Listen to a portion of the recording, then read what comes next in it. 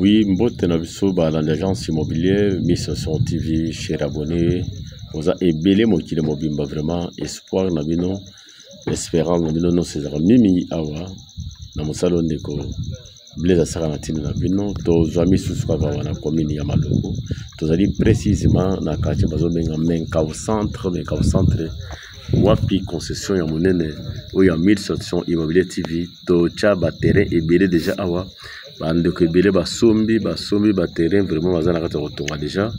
nous avons des terrains de 20 mètres sur 20 et nous avons des terrains de 20 mètres sur 25 mètres awa je le répète tozali en plein main centre c'est-à-dire 30 minutes kobanda plaza déjà mpo okoma na place oyo awa milieu moko eza très très très plat d'ailleurs pour votre information bokoki komona oyo oh, ozomona wana aza ndeko moko aza na niveau ya france wana papa noel vraimen misali na ezokende liboso atongi studio ne moko ya monene na coin toujours asombaki epai na ngai lelo ye moko amoni misala batravaux ndenge ezokende déjà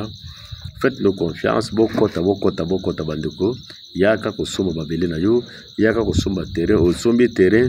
20 sur 20 ezali na 2000 20 sur 25 ezali na 2500 après topesi yo acte de vente na acte de cession biso moko nde tozopesa bato baattestation de titre de propriétaire na bafiche parcellaire na esika okende na commune 11 wana etikali mosala na yo biso moko et d'ailleurs vous allez constater avec moi na mokolo ya lelo bandeko mpe bautaki france bango mpe basombaki epai na ngai awa papa gi ye mpe asombaki double parcelle na ye ya 20 mètre sur 25 20 mètre sur 25 bango mibale mwasi na mobali bakitaki sur terrain lelo ensemble na misosion immobilier tv mpo baya kotala ndenge nini terrain na bango ezali emplacement eza ndenge nini vraiment nazangi ata maloba et d'ailleurs bino moko bokolanda nakotikela bango bapesa baimpression na bango ndenge nini bamoni terrain vraiment nzambe apambola bino botala batravaux ndenge baninga bazosala deja yaka ndeko na ngai yaka yaka il est temps zanga nyonso kozanga adresse te zanga nyonso kozanga mabele awa te wana papa noel azomona ndenge nini batravaux na ye ezokende moke moke moke moke yo mpe yaka eza na bo bazosomba crédit eza mpe bazosomba vente cash cela dépend ya projet na ye bandeko mosusu basombi ya crédit dayerezopase bino bino moko kolanda impression nini oyo ezwami awa liboso ya epapa bokolanda bango mibale bakoti france bandeko bakoki kopesa baimpression na bango bolanda ndenge bakitisi terrain bakiliya ya bisotion par rapport ya terrain nde bamoni par rapport ya emplacement bino moko bolanda bango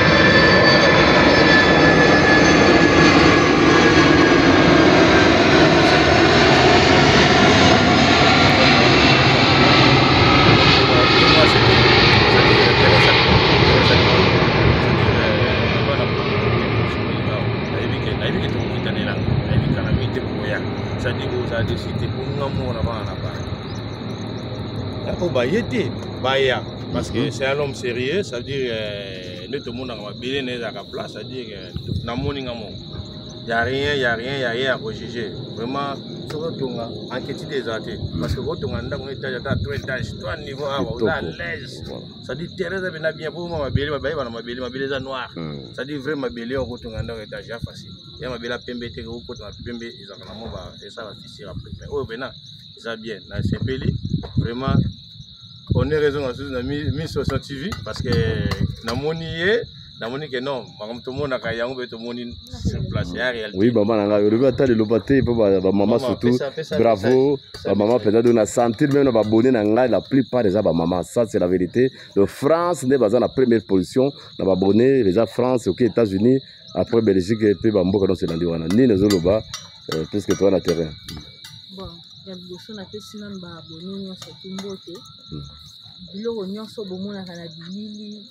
ezoleka na ba chaîne biso toye to découvrir yango eza réalité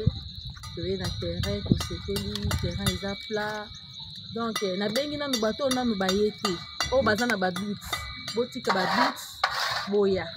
bovivre bosepela a ah, baaventure eza te o oh, baescroke o oh, boye a ah, makambo nyonso to eza honnête merci merci bamama na ngai merci bino moka nde bolandi bandeko nyonso bakolanda miso sur immobilier tv mokolo ya lelo boyoki bacommentaire biso osala bacommentaire te epai na biso motu ye moko akiti sur terrain amoni terrain na ye amoni emplacement mikanda nyonso na molongo kaka ndenge papa blaise alobaka vraiment soki yo nano ozwi libaku ya kosomba te sala nyonso yaka komona biso surtout elanga oyo nayebi ke bandeko ebele ebele bakokɔta bokɔta bokɔta bokɔta bosabone bosabone chaîne kaka moko bolaike puisque espace eza nango d'abord disponible je dis bien toza en plein menkau centre oya okokuta baterrain ya ba 2000 ezali baterrain ya ba 2500 ezali olingi kosomba cash olingi kosomba mpe en crédit lisolo ekobetama na kimia nyonso merci nzambe apambola bino boza ebele partout monde entier confiance na bino ezalaka toujours epai ya ndeko blaise c'est vrai et d'ailleurs bokoki komona